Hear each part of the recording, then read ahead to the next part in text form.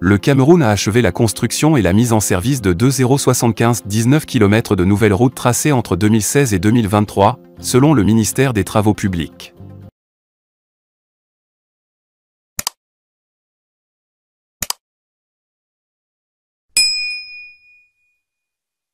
Ces projets couvrent un large éventail de régions et constituant des infrastructures essentielles au développement économique et social du pays. Parmi les réalisations majeures figurent la route Nimba-Bashuo-Akagb, 52,50 km, et la route Bamanda-Batibo-Nimba, 63 km, située dans la région du Nord-Ouest. L'aménagement de ces routes a renforcé l'offre en infrastructures de transport, notamment le corridor Bamanda-Enugu, qui relie le Cameroun au Nigeria. Abonnement aux actualités financières Une autre réalisation clé est la route Edea-Kribi, longue de 38,50 km, qui relie la ville d'Edea, dans la région du littoral, au port en eau profonde de Kribi, situé dans la région du sud. Ces travaux ont également permis de désenclaver de nombreuses zones rurales et d'améliorer la circulation dans les grandes villes, notamment grâce aux aménagements des entrées et ouest de Douala, ainsi qu'à la construction de l'autoroute Yaoundé-Douala, 60 km, Fazi, qui relie la capitale politique à la métropole économique du pays. Le ministère des Travaux publics souligne par ailleurs d'autres projets d'envergure. Notamment la construction de la route Olamakribi, 106,15 km, qui doit faciliter le transport de marchandises lourdes entre le port en eau profonde de Kribi et Yaoundé, et la réhabilitation de la route Maroua-Bogo dans l'extrême nord. Cette voie connecte Maroua aux zones agricoles et halieutiques de Girvidik, Maga et Pousse. Par ailleurs, les infrastructures d'approche du monument Paul Biya ont également été aménagées. Ces nouvelles routes renforcent les connexions internes et régionales du pays, facilitant ainsi les échanges commerciaux et la mobilité des populations.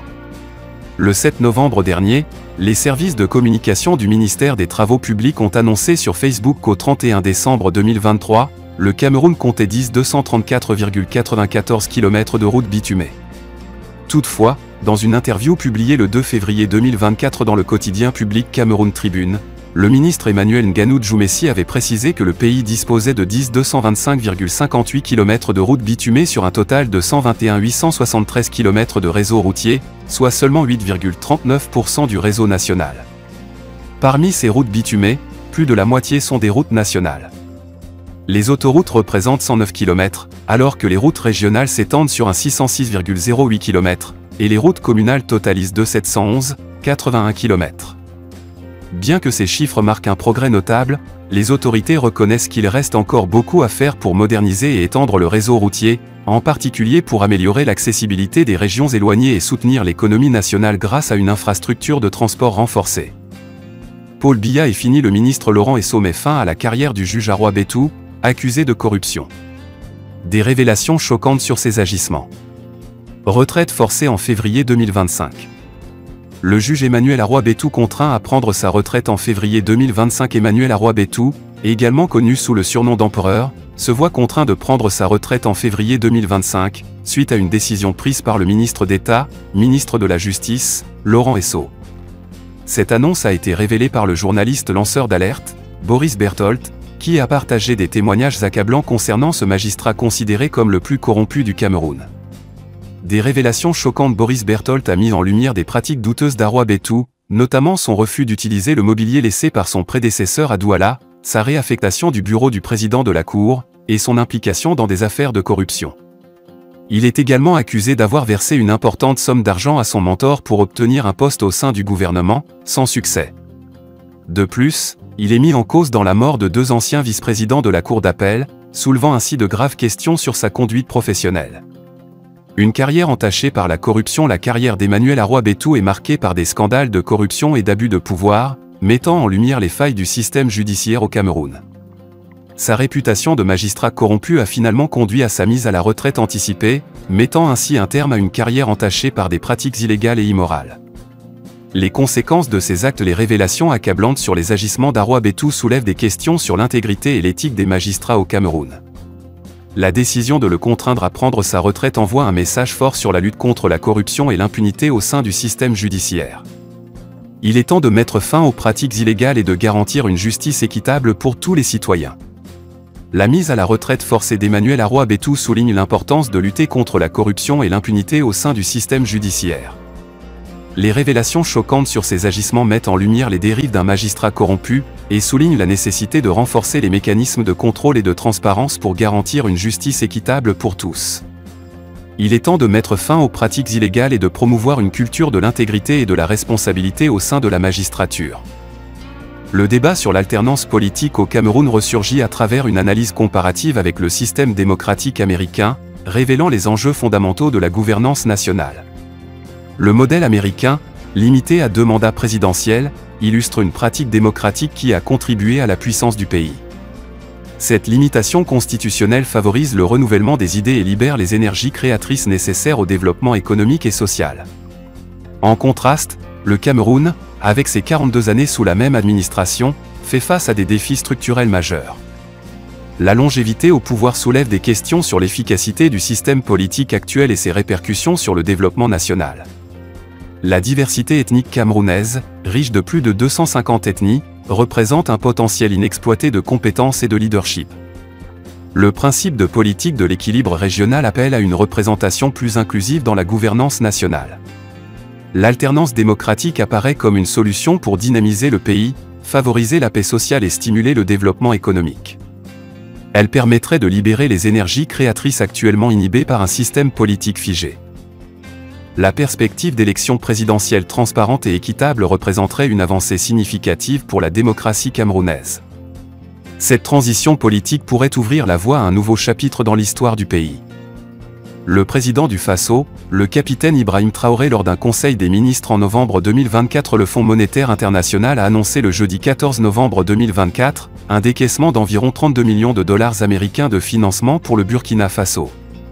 Le FMI a indiqué jeudi dans un communiqué que ses services et les autorités burkinabées ont conclu un accord pour la deuxième revue du programme économique du Burkina Faso soutenu par la facilité élargie de crédit cependant, la revue doit être approuvée par le conseil d'administration du FMI qui va se réunir provisoirement dans le mois de décembre 2024.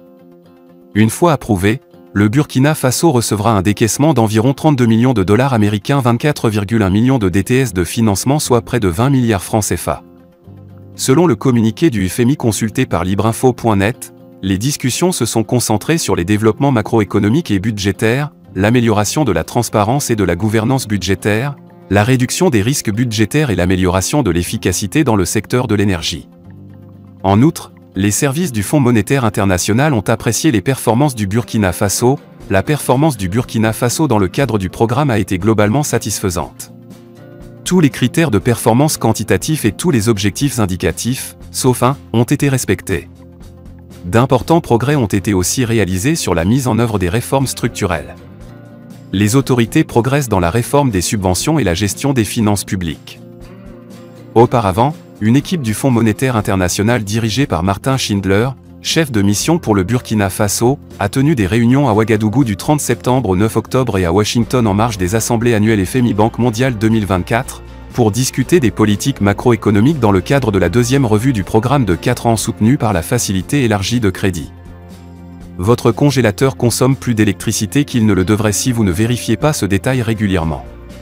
Le congélateur est un appareil essentiel dans de nombreux foyers, mais saviez-vous qu'un détail négligé peut considérablement augmenter sa consommation électrique indispensable pour une bonne isolation? Ils doivent être remplacés régulièrement. Voici pourquoi ce simple entretien peut réduire votre facture d'énergie et comment procéder. Ce détail doit être changé régulièrement pour faire baisser la facture d'électricité. Les joints du congélateur assurent l'étanchéité de la porte, empêchant ainsi l'air froid de s'échapper. Avec le temps, ces joints s'usent, créant de petites fuites qui augmentent la consommation d'énergie. Si les joints sont abîmés, le congélateur doit travailler plus pour maintenir une température basse, ce qui se traduit par une hausse de votre facture d'électricité. Un joint en bon état permet donc de conserver l'air froid à l'intérieur, réduisant ainsi les efforts du moteur. En changeant les joints tous les 5 ans, vous pouvez économiser jusqu'à 10% sur la consommation énergétique de votre congélateur, une solution simple et efficace pour un appareil plus performant et économique. Pourquoi changer les joints du congélateur? Les joints du congélateur jouent un rôle crucial dans le bon fonctionnement de l'appareil. Ils assurent une barrière thermique en empêchant l'air froid de s'échapper et l'air chaud de pénétrer. Lorsqu'ils sont abîmés, la perte de froid oblige le moteur à fonctionner en continu, augmentant non seulement la consommation d'énergie mais aussi l'usure prématurée de l'appareil. Un joint défectueux peut également causer des accumulations de givre, rendant le congélateur moins efficace. Ce givre agit comme un isolant entre les aliments et l'air froid, compromettant la qualité de conservation des produits stockés. Remplacer les joints assure ainsi non seulement une meilleure performance mais aussi une plus longue durée de vie à votre congélateur. Comment changer les joints du congélateur? Remplacer les joints de congélateur est une opération simple, même pour les novices en bricolage. Voici les étapes à suivre pour changer les joints. Préparez l'appareil, éteignez le congélateur et videz-le pour un accès facile. Nettoyez la zone des joints pour éliminer toute saleté. Retirez l'ancien joint, soulevez délicatement le joint à l'aide d'un tournevis plat si nécessaire, en commençant par un coin. Tirez doucement pour retirer tout le joint. Positionnez le nouveau joint, alignez-le soigneusement avec les bords de la porte. Appuyez fermement pour qu'il adhère correctement.